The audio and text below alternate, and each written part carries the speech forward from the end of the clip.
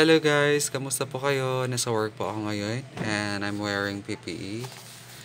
Ayan guys, para safe po tayo. At syempre, huwag po natin kalimutan laging mag-alcohol, mag-sanitize sa kamay. Alam niyo na yun. So, ayan guys, ito yung ayan, nagpo-prepare ako sa trabaho ko. Ayan, for mga for del- ah, deliver na lang. May mga pick up.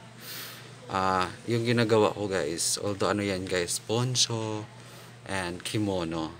At ito naman ay PPE so sa mga frontliner din dyan salute you guys. So isa na rin ako doon.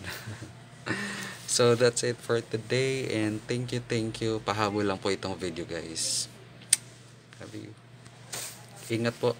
Yung mga nasa trabaho ngayon, ingat. God bless.